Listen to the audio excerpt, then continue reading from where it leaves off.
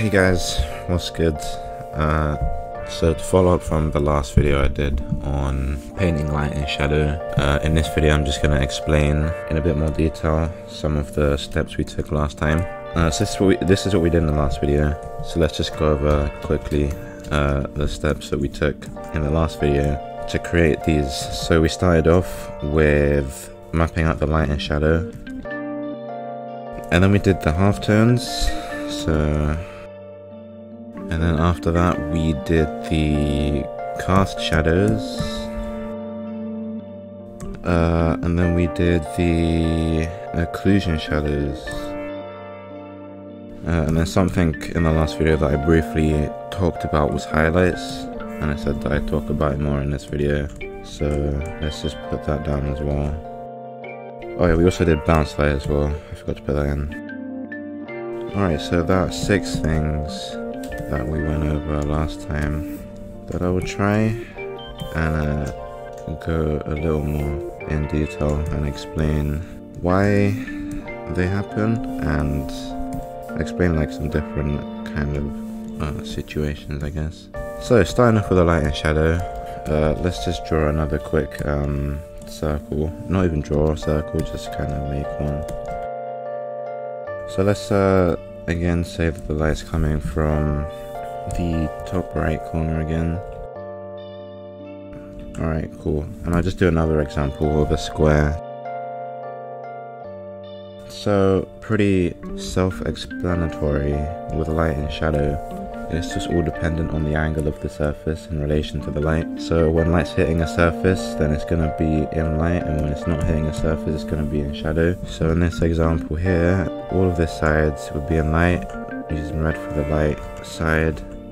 Can't actually uh, draw uh, a, a, circle here. And all of the sides would be in shadow. Bam. Easy. Simple, right? Nothing complicated about that. Uh, apart from my inability to draw. There we go. So that's a pretty simple, pretty simple example.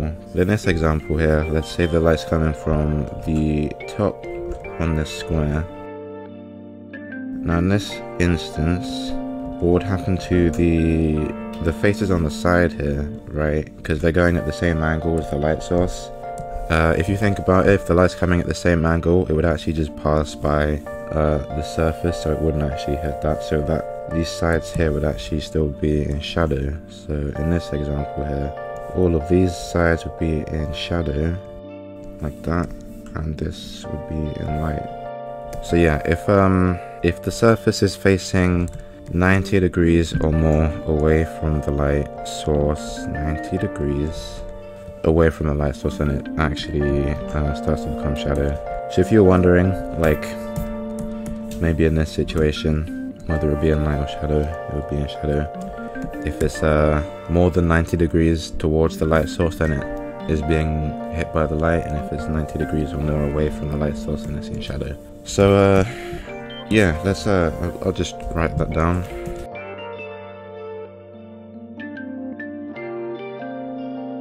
So that's pretty simple, that's the light and shadow. So we did halftones next, so halftones is a little bit more complicated uh, as far as the explanation goes.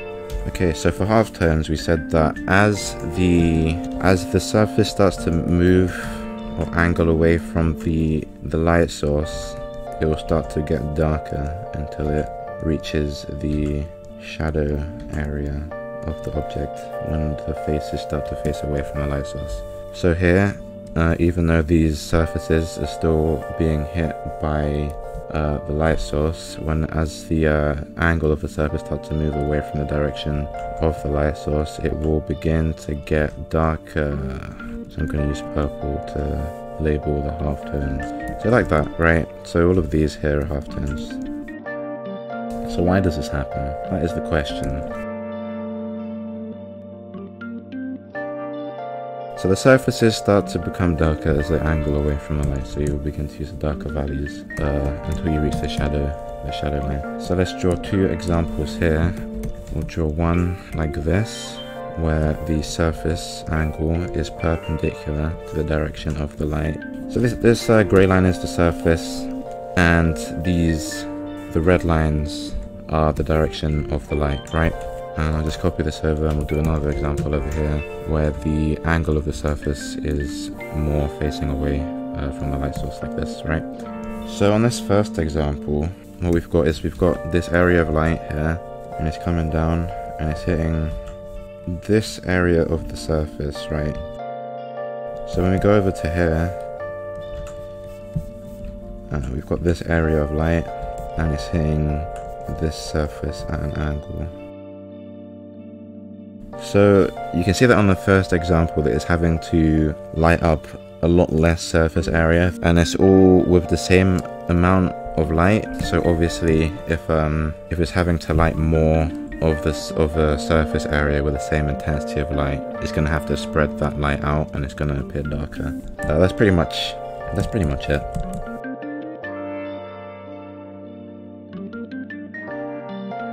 uh, so moving on to I believe bounce light next is what we did I mean cast shadows sorry so cast shadows are when there's an object in the way of the light and it blocks the light and forms a cast shadow uh, within the area of light that is blocking. So we'll write that down as well. Doing a lot of writing here. Uh, so in this example here, where the, the light source comes from this angle, the light hits here, it stops, and obviously then there's no light to go beyond that, and it leaves a cast shadow on the ground. So uh, let's draw a ground quickly in grey. Uh, so you can actually figure out where the cast shadow should go if you want to by extending extending the light down to the the next available object, which in this case is the floor. You can actually tell that the cast shadow in this case would be here when it hits the floor. Uh, even if there was like a wall here, you can still do the same thing like that. Uh, I think I said this in the last video, but it's kind of difficult or more unnecessary to uh, figure out exactly where all of the cast shadows should go. So it's probably better, uh, in the interest of time, to just make an, a, a good guess as to where you think it would be. And if you get it roughly correct, then it's believable enough. Uh, but just for the purpose of demonstration in this video, I just wanted to kind of show that. Uh, and that's pretty much what there is in terms of cast shadow. Uh, not really anything uh, particularly difficult. Uh, so moving on to bounce light. So we said last time that bounce light, uh, in this case, hits the wall and bounces onto the other side of the object. So um, once again, I'm actually going to duplicate the same example over because it's just that good. So bounce light, uh, if we draw a wall like we did in the previous demonstration, uh, bounce light is essentially reflected light So light hits the surface and it reflects uh, away from the surface. So in this case here, the light would uh, come down, hit this uh, wall and reflect off and it will cast light uh, onto this side of the object. Okay, so in the last video, I don't think I uh, explained bounce light a lot or very well, so I'll just go into a bit more detail in this video. Um, so bounce light usually depends on the uh, the material of the surface that the light's being reflected off of. So we'll do two examples here. So in this example here, I will do like a wall. Just imagine this is like a wall, like just any painted wall that you might find in your house. Quite a rough surface. So the light comes down and uh, hits this surface like this.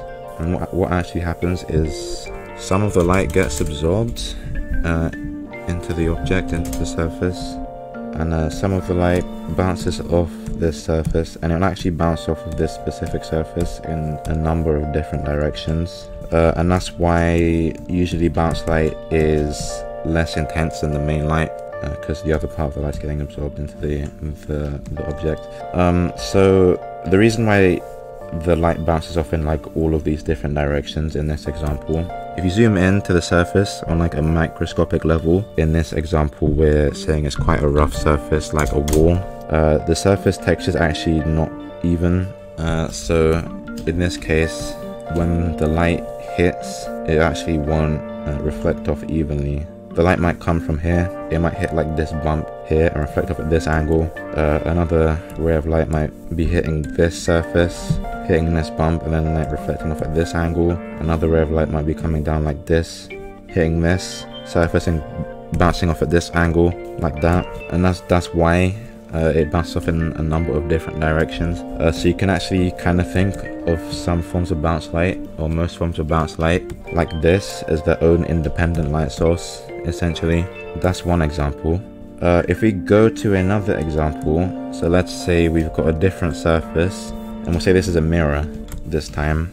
In this case the light will come down it will hit the surface and this will actually bounce off a lot more of the light in the same direction. So uh, the light will actually bounce off at the same angle.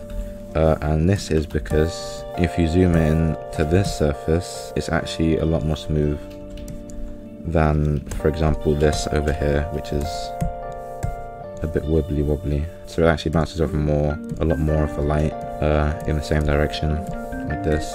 And uh, in the case of a mirror it actually reflects more of the light if not all of the light. So um, the light source actually doesn't get less intense. It's more intense than this which is why when you look in the mirror uh, you can just see reflection of everything. You can't actually really discern what color a mirror is because it's reflecting all of the light away from it. So these are the main two examples. Obviously as you might get something in between this as the surface gets more smooth the angle of the light it's reflecting gets more consistent and the amount of light it reflects increases. So the intensity of the bounce light is higher as the surface gets smoother as well. But yeah that's pretty much bounce light.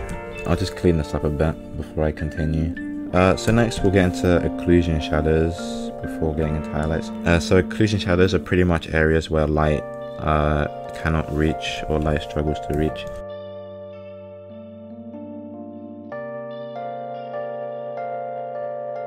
So let's say we have a floor underneath this. Occlusion shadows are basically like these areas, these very tight spaces where the light won't reach. Uh, so the reason why this happens is if we imagine this angle like this. Uh, so if we imagine the lights coming in like this, uh, using the uh, the demonstrations of bounce light as to when bounce light occurs, it, it'll get darker because uh, some of the light gets absorbed. So what's happening here is the light's coming uh, down like this, hitting this surface. It bounces up here, it gets dimmer, and again the same thing happens here. So we'll hit this surface, it will come down like this, and again get dimmer, and then it'll just keep going like that, every time getting dimmer. So um, with that, obviously as the bounce light comes in from here, it gets dimmer. This surface starts to appear darker and it keeps going The light source is getting dimmer each time it reflects until eventually no light actually manages to reach like these areas so these will appear in complete shadow and that is what creates an occlusion shadow yeah so moving on to highlights uh, finally or almost finally there's one other thing that I want to go over but one of the last things is highlights I didn't really go over this a lot in the last video because I said I'd go over it in this video which I will uh, so highlights basically where the light source is being the light source is being reflected off of the object. Uh, let me just write this down. Uh, so when you think about reflections, you actually have to think about where the camera is or where the viewer is. Uh, so let's say in this example that the camera is here, right?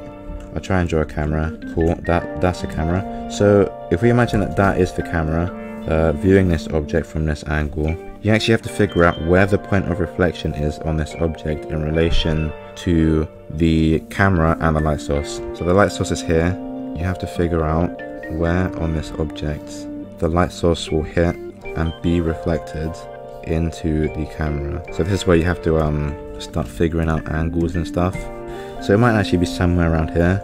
So here the light the light source comes down like this. It reflects off of um, this surface angle in particular and it this bit of light actually goes directly into the camera. And that is where your light source would be.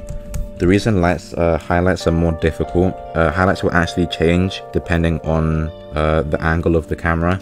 Uh, the light and the shadow stays the same regardless of where you look at it but the highlight will change because it's dependent on where the the viewer's eye is or the camera is so let's do another example where the camera's like more the camera's a bit lower at a different angle like here. So you have to figure out the angle again, where on this object the light will reflect directly into the camera.